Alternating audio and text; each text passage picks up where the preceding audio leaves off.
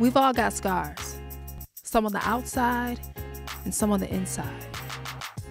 But we can't be defined by our scars.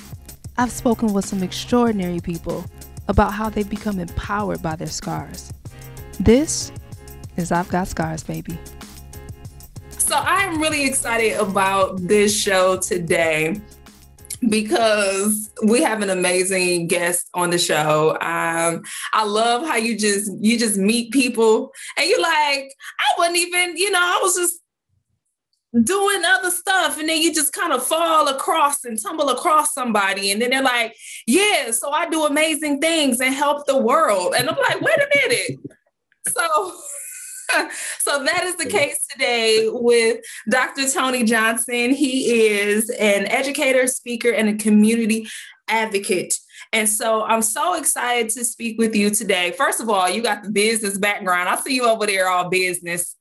Listen, you you you like you like all Hollywood and stuff. So I said I got to at least try to make you proud. So let me let me try to get my background.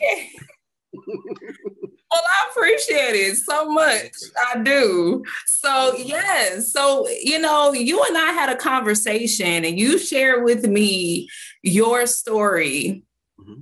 And I was like, wow, you know, because on this show, I really love to to to talk about because everybody doesn't get born and into a situation with like a silver spoon in their mouth.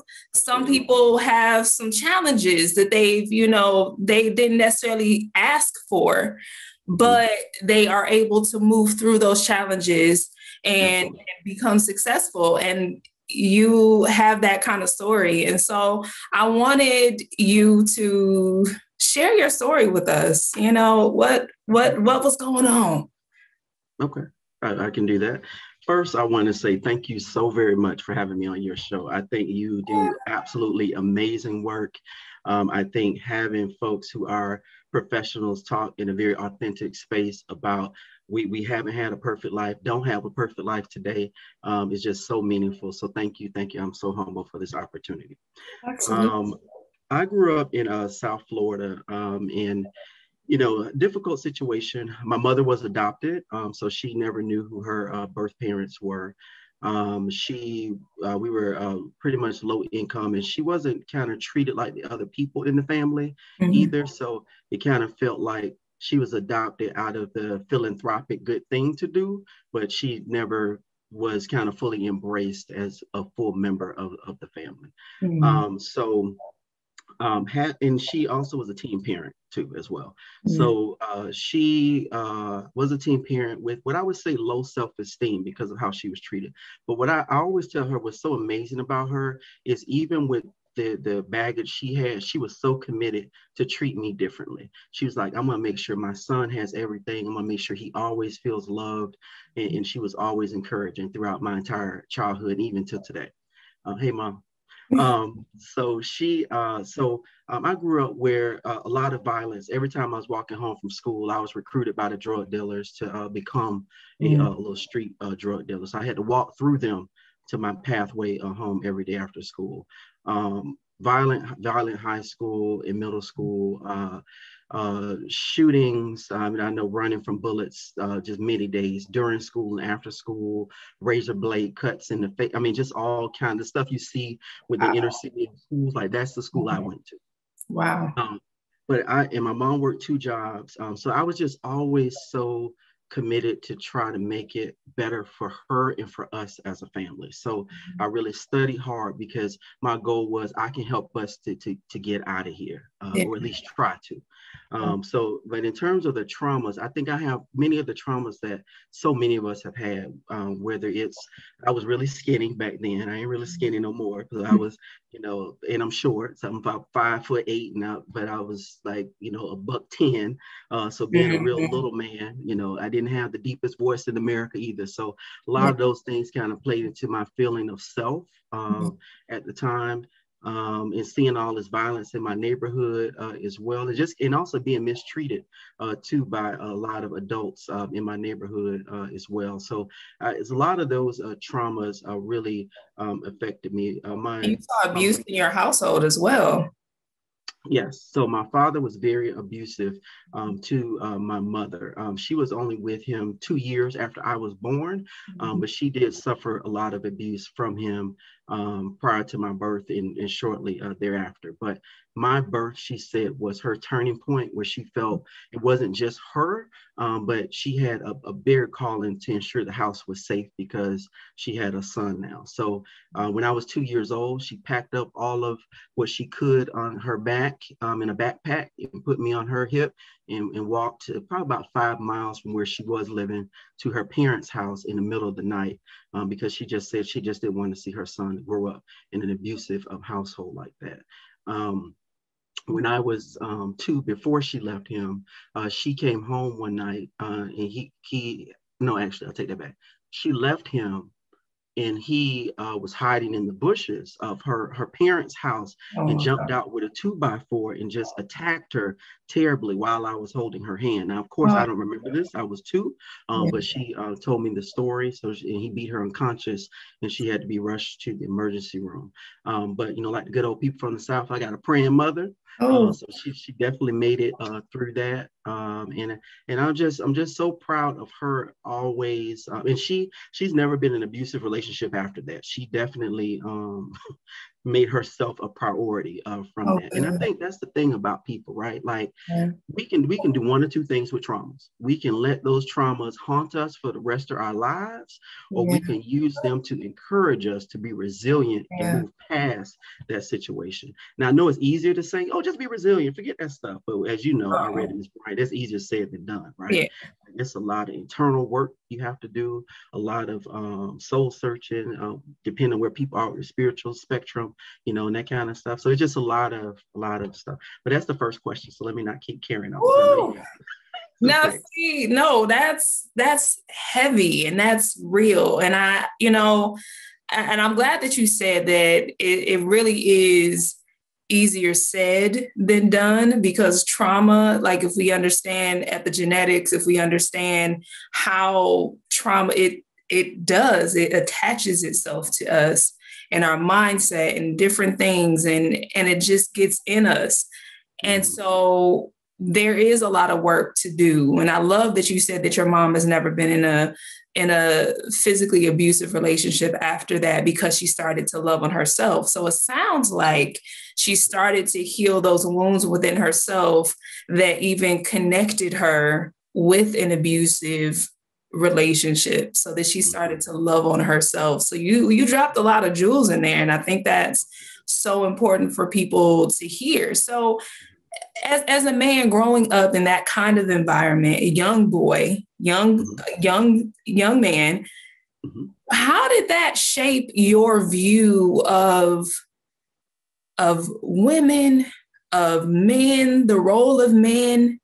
Um, because today we're talking about identifying trauma in young black men like mm-hmm, mm-hmm. That is what we're going to talk about that's a really really big topic and i know this is something that you've experienced in your mm-hmm. life so how did that shape the way your view of your mom women the role of men in your life like how did that shape you Ooh, now that's a loaded one there. Um, so it so one, I was um confused about every every household in my family was ran by a woman. So yeah. the man had either died, he was incarcerated, or he left it.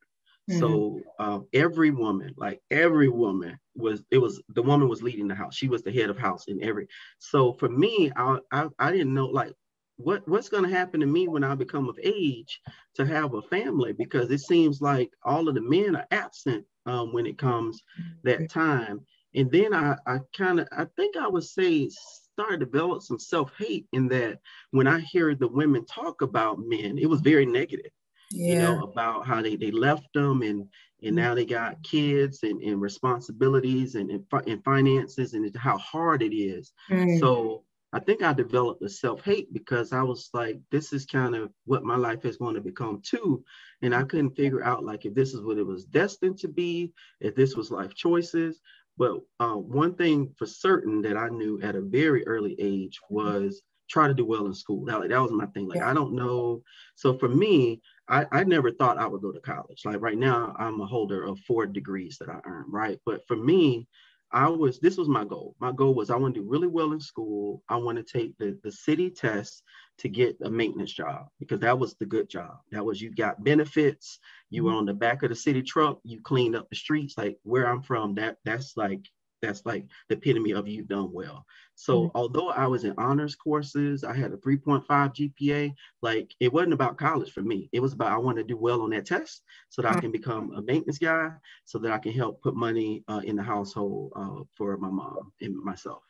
Um, so um, it took one or two teachers kind of talking to me about, no, you need to get on the college trajectory. And I was like, we ain't got money for that. Like we just, me and yeah. my mother, we just trying to make it at this point. Like, yeah. so, so, they started talking to me about financial aid and things like that. And I also, you know, think about as a black man, I didn't think I was smart enough, right? So although my GPAs mm-hmm. reflected as such, I didn't speak with the King's English. I had mm-hmm. two gold caps that had BMW on it because I thought that was cool. I had a little earring. So, I mean, for me, I, I I had a perception of what intelligence looked like, and I didn't look like that. I didn't look like that, and I didn't sound like that. So, um, one of my uh, most amazing uh, teachers, and we are Facebook friends to this day, uh, mm-hmm. uh, Miss Stephanie Nagel, said, "Kid, you're going to college." She's like, "I don't care what you, you're going to college." Mm-hmm. Um, and she just really pushed me, uh, encouraged me, yelled at me, and I just started applying to college. And I got um, accepted to uh, my first uh, three choices that I applied to. Um, and then from there, it, you know, I just saw that if you work hard in school and, and, try to keep your head head down to focus, you you can matriculate and get through it. So degree after degree, I just kept going. so that's kind of wow. what happened there. Yeah. Wow. Gosh so what do you feel like education did for you because you said that you you had some insecurities because you didn't fit the mold so to speak mm-hmm. so what did mm-hmm. education do for you it changed my whole life trajectory um, i mean i I really took the standardized assessment seriously that we took in school, you know, the one you take once a year yeah. to see where folks are. I, I, didn't know that the third grade one was the high stakes one kind of that determine your trajectory.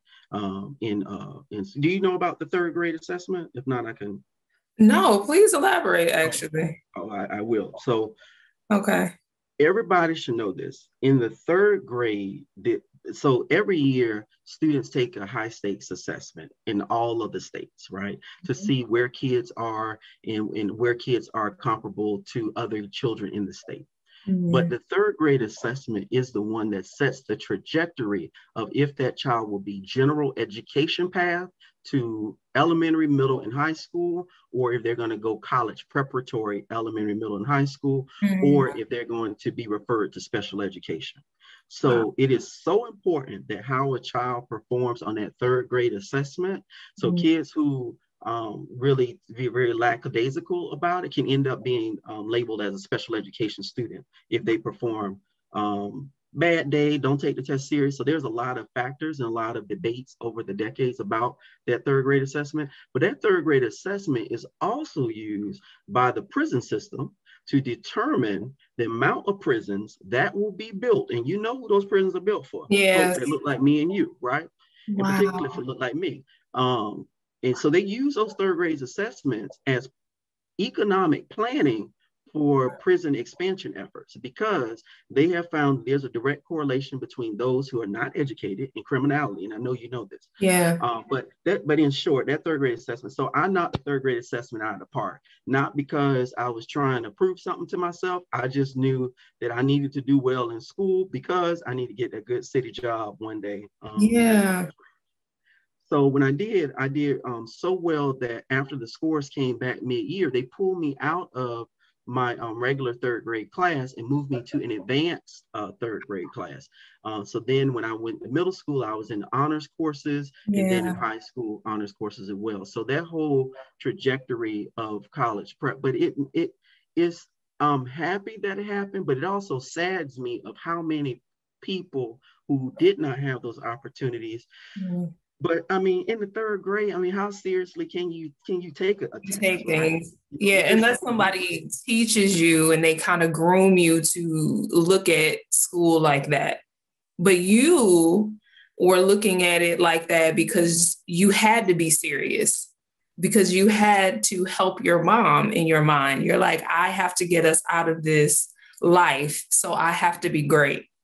Absolutely. And that's a lot of pressure for a third grader mm-hmm. to even think that, but and to feel that, but but at the same time, it sets you up for success. So wow. So when you got into college and your college experience, did that help with your self-esteem? Did you start to see yourself differently? What was it like for you?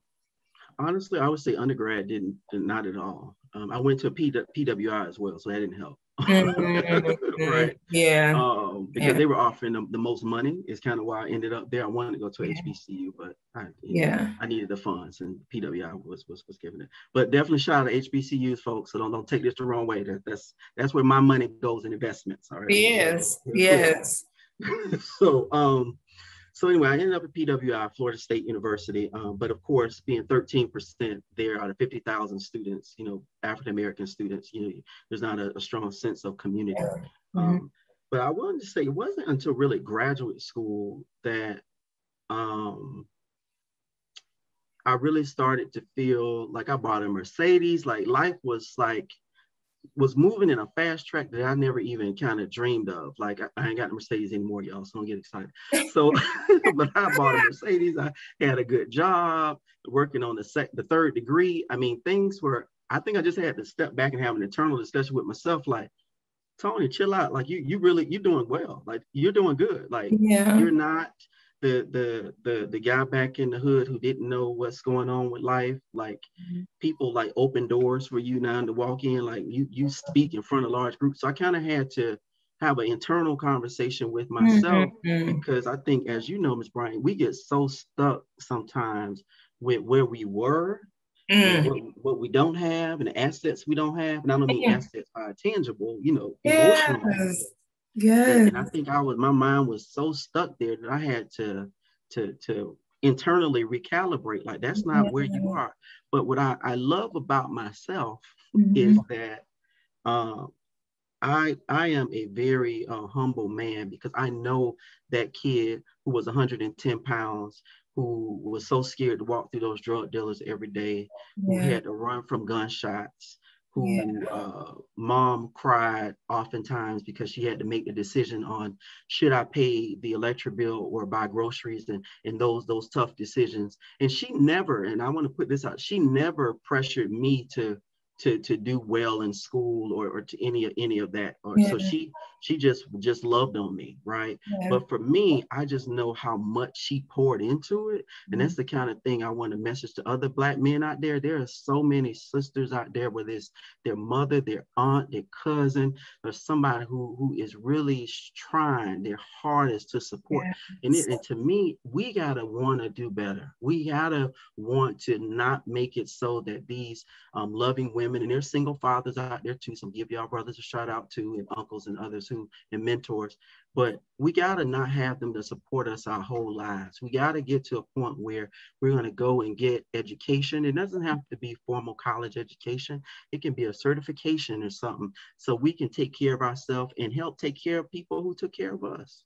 Absolutely. And thank you so much for saying that. It, I, I truly I truly, truly believe that. And also, I want to add that because of what we in as African Americans have experienced in this country, I also want men to know like things have been shifted in a way. I think it is natural for the man to want to do the help and to help and to do all these things and to take care and to all of that. But from slavery, women have had to protect our men because we wanted to keep them alive.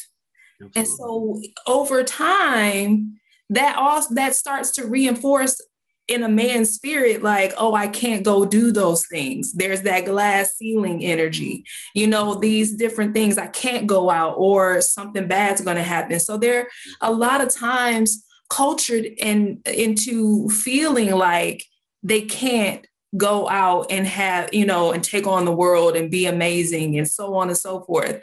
And so I, you know, I want men to understand that, hey, we gotta, it's just a mind, we gotta shift the mind. And you've a lot of times you've just been raised to feel like it just can't happen. Mm-hmm. But we ain't gonna do that anymore. Absolutely. we, Absolutely. we we move, we are shifting, Absolutely. changing all of that, clearing that out because as women, we do need you. And I want men to hear that. Like your presence as a man is so necessary. You are so necessary, man. Please understand. We love you, need you. Um, a woman feels safe in your presence. We are in our feminine energy in your presence. And oh my goodness. So I, I you know, that's a whole other topic, but I just had to say it I just had Absolutely. to say it so people, in case the men are watching, like understand. Yes, we want you to step up and do amazing things. And we also understand too why it has been difficult in the past for men to do that. Mm-hmm. But it's a new day and we're gonna do some new stuff because we need each other. Okay. All right, I'm gonna stop. I'm gonna stop. All right. That's true. I if I, could, if I could dovetail on that really quickly. yes. That, um, women have to be have, have been forced to be super strong, black women, but particularly mm-hmm. black women, women of color, been forced to be super strong. But like you say, that's that that I don't think that's the inherent goal or interest. No. But when the man is gone and you have bills to pay, children to raise, and got to get a career, in your, like these are what things that are for us to do. But yep. I, I think that that we as black men have to want to do better and do better. And I think we need to work with each other because mm-hmm. there's so much distrust us black men have with each other that is so disappointing to me. Like for instance, if there's several of us who didn't go um, to college and we're trying to figure out, let's start a lawn service.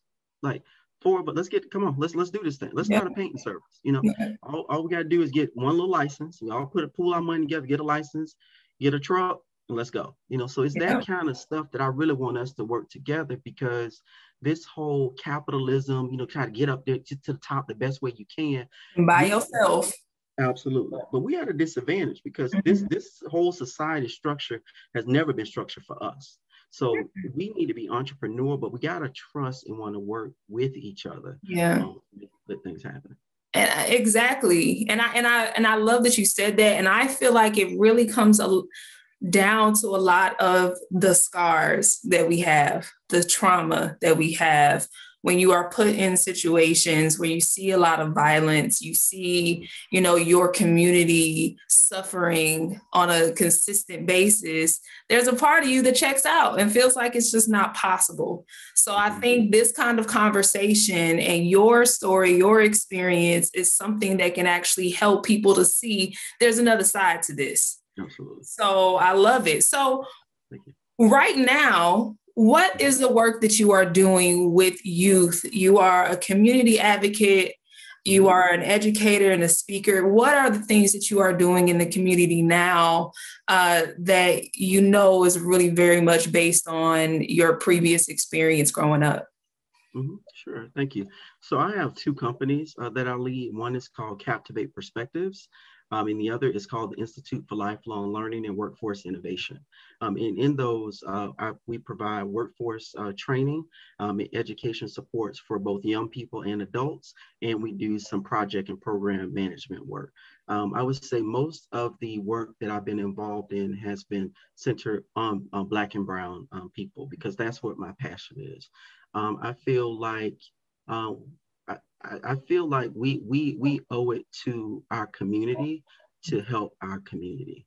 Um, so to the extent that, um, and I'm also involved in 100 Black Men uh, as well. Um, I'm a member of Kappa Alpha Psi Fraternity Incorporated. So I'm in a lot of different kind of Black mentoring mm-hmm. Um, groups uh, as well.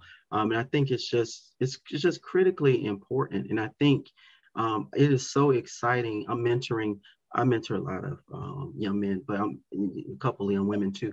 But there's a, a, a, young man, he gets so excited. When he's on a Zoom, he just brightens up before I even open my mouth. And, and that, that's just, just so warm to my heart because it's, it's like what you said, Ms. Bryant. My presence means so much that he's beaming from ear to ear before the even, it still says connecting and it comes in his face and he just. He's like, exactly. and and I just and I just love it. Uh, I just love it because um, what I what I, I'm not going to commit to is to be um, the absent man like my father was, right? Mm-hmm. Was always in prison, and when he was out, he was up to some foolishness, right? Mm-hmm. So I think even if it's black men who uh, do not have children, you definitely got um, a responsibility because there's so many youth that can be, and you got some time on your hands, right? Mm-hmm. That should that should mentor um, and do more work in our communities. And for Black men with children, I mean, the civil rights movement and before we got such a big commitment to our to our communities. We got a, a mm-hmm. lot of work to do. Um, whether that's um, mentoring kids, oh, and to the, the point of single mothers. I mean, they need us single mothers are trying to make this happen with one child or multiple children, even mm-hmm. if that's, and I'm telling you a couple things. I, I, I, well, one thing I think I've done, I don't want to talk over the time, but I have attended, I have volunteered with single mothers to go to their parent conference with them.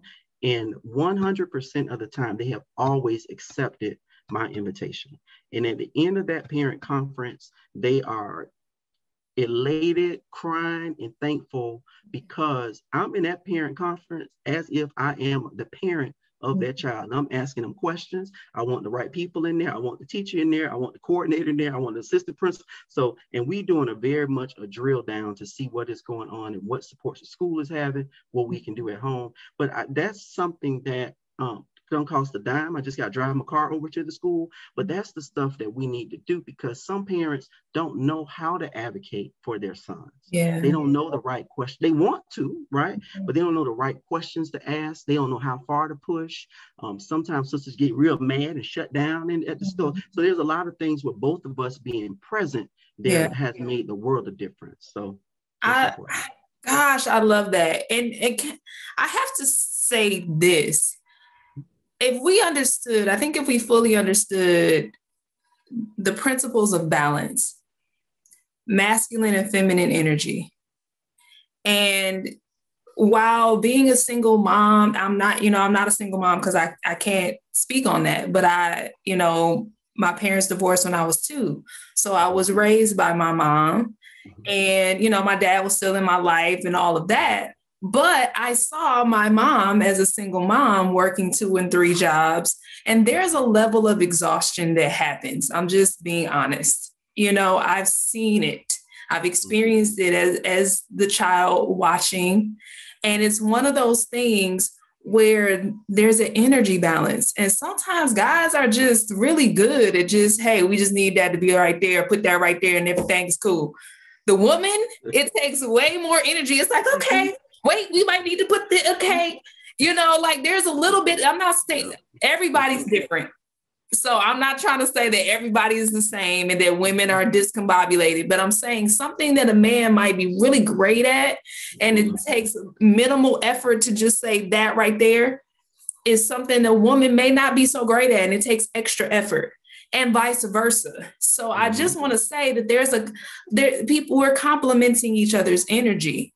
So if anybody ever says, "Oh, I don't need you," whatever, mm-hmm. the balance is necessary. So I just want people to understand the balance is good. And, and there's a reason that we're different from one another because each, each of us have, you know, we complement one another. So Absolutely. I'm very, very, very happy to hear that. And we probably gonna have to have a whole other show on how to enroll other men into doing all that good stuff. Like, let's make it happen. But so so what I would like to ask, mm-hmm. just in your opinion, okay. how do you think? Because I, I want to get into the minds of these young men, the trauma a young man experiences. Okay. Outside of just the community around him that he goes out and looks at out, mm-hmm. you know, out the front door. What other influences whether it be media, social media, what other influences do you think really keep a young man kind of in a box and mm-hmm. keep him just on maybe you know not believing in himself not necessarily taking you know being interested in going to the next level or knowing he can go to another level in his life? What do you think those things consist of I think uh, media um, plays a very, very significant role in how young Black males perceive their assets their, and their deficits. Um, I think that there is um, a couple of standards that media has portrayed of what a Black man looks like. And for mm-hmm. young Black men, if they feel like they depart from what that, that visual representation is, uh, they feel that they're less than. Um, and I think that is something that is so so difficult to champion over because media is everywhere, right? It's, yeah. It's so what are what are some of those things? Can you name a couple things that people that young men might think, oh, I need to be this in order to be a man? Um, I think that physically fit has taken on a whole uh, another level, and physically fit is important for yeah. health reasons. Yeah. But I think media has shown physically fit being more about the aesthetics of what it looks like rather than the importance of your longevity of life and health. Mm-hmm. So um, you see these men with these ripped up abs, no shirt on, you know, and just and looking to have their own yachts, they're having a, the best life. Whether it's a, a ball player, uh, uh, these fitness uh, instructors are taking up my timeline everywhere. Um, so they kind of vision, well, I got a stomach, I'll, and I'm short, and I'm not even talking. So I think their their image of self wow.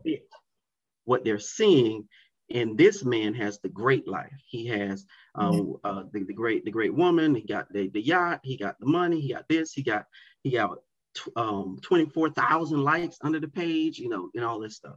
Um, so I think it's, it's still the image of who we are. I think the the the um, drug dealer image has changed a little bit, I think, the media to more the hustler image. Mm-hmm. So uh, it could be like uh, uh, a red solo cup, which is indicative that it's a drug mix in the cup with mm-hmm. a stack of money in the hand. But it's all the things like a black man and criminality is um is is is a is a if you don't look like that like where, where do you fit in that mix mm-hmm. and then i think another um, image because of a lot of um, the liberating of the black man is the uh, effeminate um, close to cross-dresser look of mm-hmm. a black man too but there's so many different images of black maleness yeah. between outside of them three um, yeah. that it makes i think a young black man kind of confused to kind of where he fits and mm-hmm. and how he can be accepted. And one of the things I do uh, presentations at conferences about in terms of black males is that's two things. well, a lot of things, but these are two of, of, some of the. One I say to teachers and those that support them is I say they're young. They're young, so don't don't indict them on doing things that aren't um, smart choices right now. They're young. You were young too at some point. Mm-hmm. and so I said while they're young, nurture them, sow seeds into them and, and, and continue to sow as many seeds while they're with you. And I said, because there are so many positive stories that'll come back years later when they'll come and say, uh, Miss Weatherstone, thank you so much. I know I was off the chain seventh grader and I never hardly come to class and dropped out, but now I'm amazing. I'm doing this. So I say, don't, don't get caught up in who they are today but do continue to love on them, continue to support them, continue to give them knowledge. Because, you know, Black males too have a pr- protectiveness too, right? Where it appear to be aloof and not not here, like quiet and just mm-hmm. staring at you and that kind of thing. Mm-hmm. But I say they, are still a young person. I don't care how they act. They're a young person. Yeah. So as much as you knew or didn't know at 14, that's all they know and don't know at 14 too, or 12 or whatever age, right? Yeah. So I try to um, really um, kind of push that um, uh, quite a bit too. But I think that um, young males are very confused about so many things. Um, um, I think uh, sexual molestation is is is no more on the rise than it has been before, but it's always silent in the African American community. Mm-hmm. Um, there are a lot of males who, because um, I've talked to some males where their um, their older siblings have gotten out of jail and have molested them, and they haven't, oh. of course, said anything to their family. And they're now in their 50s now, you know. So wow. there's so much of that too that I also think impacts mm-hmm. a black male's uh, view of himself in his community. And I also think the last thing on this topic is um, like when you say the male female energy balance, which is so I'm so glad you say that. They're gonna they're gonna go off the hook on the on YouTube about that, but they'll be okay. Um, but it's true. You're right. You are absolutely right. Yeah. And the other piece I was gonna say on that too is just that the um it, it is um how a black female accepts or not accepts a black male as he's young also mm-hmm. impacts him too mm-hmm. tremendously. Mm. So if, mm. if, the girl say, "Uh, he ain't cute, girl. Uh, uh, he too short. Uh, uh, he, his voice saying, you know." So I think all of those mm. negative images. And I'm not saying that all um, African American women do that, but you know, African American uh, women and all women have certain preferences, right, and certain mm-hmm. looks that they that they mm-hmm. go for. And I think to the extent that some black males depart from that, um, really has an impact on how he views himself. Wow. Ooh, that's a lot. That's a lot. That's a lot because you think, I think generally speaking, and I'll say this mm-hmm. as a as a woman and as a woman who is a burn survivor as well, mm-hmm. you want to fit in. Right. Nobody wants to stand out. Not typically. You're a very special person. If you're like, yay, I love being different than everybody else. I'm like, wow, you are a unicorn. Mm-hmm. But usually, if for some particular reason, say you're like, you're you're the the young black man and your community is as it is, you know, people you see a lot of hustlers or whatever growing up, but you like sci-fi and you like to read, mm-hmm. you're gonna feel weird. Absolutely. You're gonna probably feel as weird as I feel felt growing up with a big old scar on my chest and shoulder and not feeling like a woman. You know what I'm saying? So anybody, any young man watching, you know, I'm not a I'm not a I'm, I'm a woman, so I can't speak to you as a man, but I can speak as a person who has felt different and didn't ask to feel different. You know, I was burned at 18 months old. So it's like I didn't want to have the scar. I didn't want to look different than other people. But there's a level of that you got to get to where you're like, I am just really in, interested in being myself that's what I'm really interested in. And I'm interested in, hey man, it's like cause cause the more you accept you, other people will. That's just the truth. Like as soon as I stopped worrying about my scar and doing all of this, people were like, it's almost like they didn't even see the scar. Mm-hmm. But I was walking around thinking that I was, you know, a pariah and I was just not worthy worthy. And and that's how I, I started to interact with people. And people were like you know you're kind of off put by people who aren't confident in who they are. Even if who they are is weird different weird different whatever the case may be. So that's just one thing. So what would you say um, how can we as a community as women show up for our young black men in a way that they can fully receive it. Ooh, try not to fall out your chair because I'm gonna try to get all this in. No. okay. All right. So the first is do not treat him negative because you don't like his daddy. Okay. Now, the relationship didn't work out. Maybe he was no good all along, but do not treat that black male child negative because you do not like the father. Mm-hmm. Also, with that, don't make negative statements. You just like your daddy. Don't make statements like that because he's not just like his father. Mm-hmm. He is a young man who is developing and who is making some right choices and some wrong choices, like all of us do in life. Yeah. So always speak positivity to him yeah. and into him. Um, the next thing I would say is um, be honest with him. Give him critical feedback when he's making mm-hmm. missteps. Don't be quiet and silent and say, mm. well, I saw him doing it, but I wasn't going to say nothing because you can't tell him nothing. Mm-mm. Give him critical feedback, mm-hmm. but don't give him critical feedback at the table in front of everybody, right? Mm-hmm. Don't give him critical feedback at the at the at the um July 4th holiday picnic. Y'all, let me tell you all the stuff Tony don't do. That's not critical feedback. You're mm-hmm. embarrassing him. It's gonna mm-hmm. cause him to shut down. Critical feedback is I'm just gonna pick a place because on the side of your bed. You sit there, he sit right next to you, and you're having a conversation about some observable behaviors he's done mm-hmm. and some suggestions of what you would like to see him turn those behaviors around. And let yeah. him respond and comment about yeah. it. And y'all have a conversation. Because one of the things that we want to get black men to do and what um, sisters can really be helpful in our young black men is to make us feel guilty when we when we're thinking of making a bad a, a mistake or a poor choice. Because we'll remember that conversation we had with you and when we probably in the might be a little white line or something with the friend might want to put our nose to it we'll think about that conversation that we had and be like no you know what y'all? I'm, I'm good. I'm gonna head home so yeah. so really had keeping the open line of communication um, there.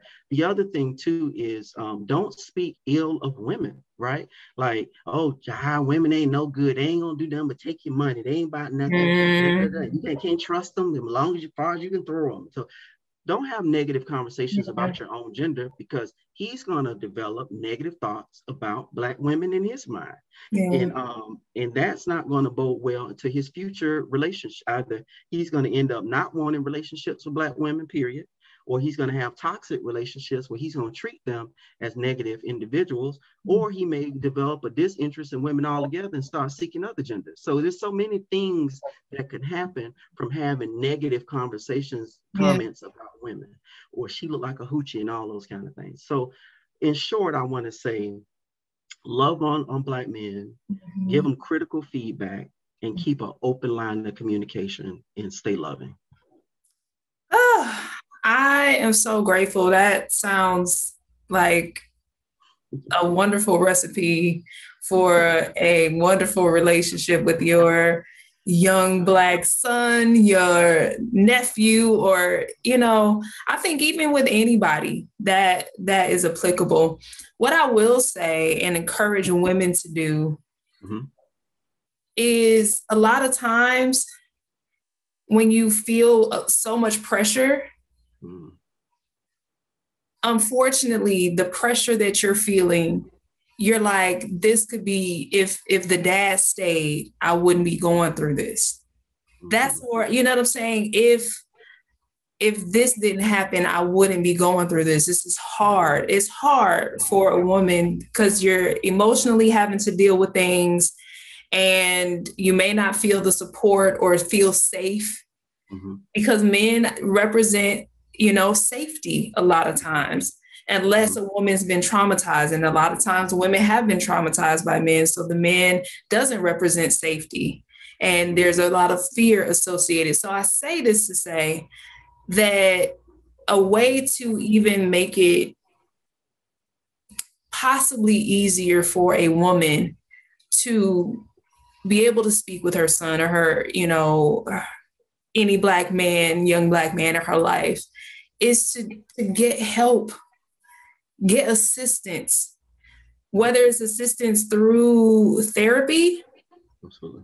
or it's it's hey, I'm gonna call in some uncles, some cousins, some male cousins, you know what I'm saying? I mm-hmm. need you to help me. Mm-hmm. This this idea of black women are strong, we can do everything, child. No. Even if you could do everything, doing everything is not necessarily going to be for your own benefit. And I encourage women, generally speaking, to be a little bit more selfish, not selfish in a mean, terrible way, but in a way where you're really able to take better care of yourself so that you can nurture and be more in your feminine energy so that you can take better care of those who are under your care. So get the help, the resources, organizations, whatever you got to do, enroll people in this situation so you don't have to feel alone. So you're not having to juggle everything alone because it's hard to speak lovely, beautiful, encouraging things and you feel like the lights about to get cut off, y'all about to get kicked out of the apartment, you your job just laid you off, like all this stuff is happening, you feel like the world is crumbling. Okay. So I just encourage women to reach out. Don't don't go fall for this super black woman trope and I gotta be this way. No. Get the help that you need mm-hmm. because your child deserves the love that you know, everything that you can and you want to love your child, of course. Who doesn't, you know, desire that? But sometimes you got some scars in the way. We got to get those scars out the way so it makes it that much easier. So I just want to say thank you so much for being a part of this. This is amazing. Is there anything else that you wanted to share? Um, I didn't think so, but after you just spoke, I, I did get encouraged for some couple of things. Okay. I want uh, to to the mothers as well is that um, it is so okay to cry. It is so okay to cry. I think trying to hold everything in, uh, you know, as Ms. Bryant said, when you have electric bills and, and car notes and, and, and your own health uh, and family stuff, people dying, like it's just life happens. Definitely, please don't hold it in and cry. I mean, one of the very sad things I saw maybe about six months ago uh, was a woman who had a, um, a, a semi newborn. I think the baby was maybe about two or three months old, but she held the baby to her chest and jumped off of a bridge, black woman. Yep. Mm-hmm. And, and, and both of them died. I mean, to me, it, she she probably fits what we're talking about. She probably has so much going on, felt she didn't have anybody to talk to, and, and I think a couple things too is um, don't like talk out loud to yourself, like really think like you're talking to somebody, but have internal conversations with yourself too, because sometimes we don't do that. We seeking, let me go talk to my, my home girl. Let me see what she think I should do. Kind of talk to yourselves too sometimes and do some reflection. Like, is this decision that I'm about to make for my son the best interest for him, for me, like kind of kind of ask yourself what I call is the Oprah phenomenon. Ask them good questions. Yes, good questions. good questions. No, that's real because your brain is going to look for the answers. And it's you if you ask bad because I used to ask myself bad questions. Why does have to happen to me? Why why did you know because and then you like why did this happen to me? Well the answer could be well you shouldn't have been messing around at 18 months old pulling cups of coffee on yourself. Oh well maybe if they, they would have done that you're gonna find some horrible answers. Like why does stuff never work out for me? You're gonna find the answer for that but if you say, how can this situation serve me? How can I make the most out of this situation? You're gonna get some answers you never would have thought of. So I'm so glad you said that. All right, let me be quiet. That that no, no, no, no. Uh, I love, I love it. I think I got about nine more minutes before you t- cut me off, cut us off. So we'll keep going. I oh, love no, it. No, it's all good. The um, yeah, and I think I think the other thing too is I want sisters to be so critical of themselves too. Like yeah you're gonna make mistakes because you're human. So, mm-hmm. you know, you know, going back to what Miss Bryant said, never try to strive to be super mom, to appear you always okay and calm and everything's okay. But you do want to be critical when you have made mistakes. Apologize to your son. Don't don't feel like what I have seen uh, some uh, black women do is the apology comes to moving on with the conversation. So what you want for dinner? Like so, so if you know you don't made a mistake, apologize to him because yeah. that's strength in that. If he sees, mm-hmm. wow, mom has been lightning to me for three days over something she think I did, then she got some new data to find yeah. out I didn't do what she thought I did, yep. and she actually said, "Baby, I'm so sorry. Mama made a mistake. I thought I thought you did it. Please forgive me." That that matter that would matter to him. Um, so never just kind of move on in the discussion and pretend, and that's in all your relationships, sisters, and not just with your son. Now, if you're mm-hmm. wrong, go ahead and make an apology. Yeah. Right? You know, it might feel hard, like he's gonna kill you and you're gonna die if you apologize to somebody, but you're not. So go ahead and apologize uh, when you uh, make mistakes, and and be on. No, ooh, well, okay, I about to deliver this. be honest with everybody on how you want to be treated. Oh.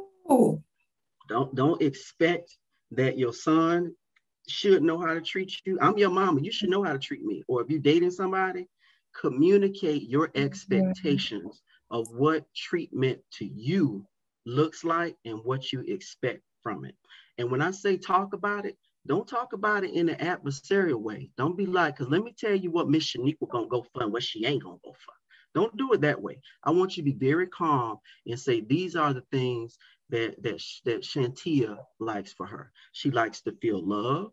She mm. likes to feel nurtured. She likes open communication. She mm. likes to so so just be very calm because how you present stuff cut people off from listening or not listening all the time. You could be saying the most amazing thing, but if you say it out of a place of anger or sassiness, it's not going to always be received in the spirit and intent that you want it to be. And the other thing I'm gonna say about your son, I'm gonna um, shift it over because I am not the moderator. I'm up here carrying on like I am. So I'm sorry. Is that um, saying to him, you need to talk to him about um, the expectations of how you want him to be treated, but also you have expectations of him and what that looks like. Because sometimes sons find out after punitive, right? He done did something, and he's spanking and oh. yelling at him, but you never told him before that what the expectations are. So communicate expectations because guess what? We do a good job. A lot of us do a good job on that at work, right? We talk about, okay, what are the expectations this job? Because I don't want to get written up. I want you to be just like that with your son. Communicate expectations up front so that when it comes to evaluation time in six months of his behavior in the household, mm-hmm. good to go, right? But you don't know. like go, you know, on him real hard, but you never told him what you expected from things. And that's so many. I'm talking about your expectations of communication, your expectation of how to express love. Like it's so many things to uh, talk about. And whether it's one child or you got a house of six or seven, that's yeah. even more of a reason for you to be organized and over communicate so everybody's clear. Wow. I love that. That's real. Cause I it's interesting because that honestly that that's just discipline and you're open and honest about you and what you need and all of that man shoot and then if somebody is not trying to fall in line with that like you said that's when okay hashtag problems there it is. And you already know it's gonna be some some repercussions. That's it. And so that, things, that makes sense. Mm-hmm. Mm-hmm. I was gonna say one of the things you see on television all the time is the person who on the witness stand always get upset when the truth start coming out.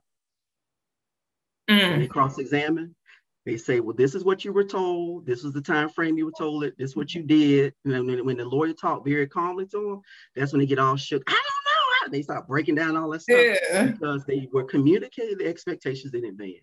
Yeah. They had time to make the right choice. They still made the wrong choice and then not being called on the carpet. But you want to do that process so that oftentimes you don't get to that fourth step where yeah. they will make a right choice and not have to get called on the carpet. Oh, hashtag problems. right. Okay. This was amazing. Thank, Thank you, so, you so much for being a part of this show and for sharing your experience and so many powerful tips. My goodness. Okay. Thank, Thank you. you. And woo, I hope everybody was listening. Had to take some notes on this one, okay? I got to take some notes, okay? So All right. With baby, I got scars. She is amazing, folks. Please follow her on Facebook. Follow her on YouTube. Yes. She's doing how amazing can, work. Oh, go ahead. Thank you. Now, how can people get in touch with you? I want people to get in touch with you right now. They're like, look, All right, folks, so on the game. I'm gonna go to me, then I'm gonna go back to her. All right. So me, you can um, reach out to me. I'm on all the platforms. I'm on Facebook. Um, I'm on Instagram. I'm on um, LinkedIn. Uh, so it's Dr. Tony D. Johnson. You type the whole name, you'll be able to follow me. Uh, my company, Captivate Perspectives, as well as on all the social media um, platforms. Uh, feel free to inbox me, uh, send me a, a meeting uh, invite uh, to, to friend. I would love to connect with you all. Now, going back to the queen, y'all. So Ms. Bryant is amazing. Uh, please follow her. She has done some amazing things in the fine and performing arts space. Uh, she's doing some great things for our community and, and in the media. And I think it's so critically important that we support the great work of sisters like her um, because when she's in Hollywood walking that, that red carpet and stuff and getting those awards and stuff and on those yachts, we want to say, that's right, sister, you deserve it because you have done really hard work. So let's please stand behind her in her great work. Oh, thank you so much. You're welcome. I truly appreciate you. Oh, my pleasure.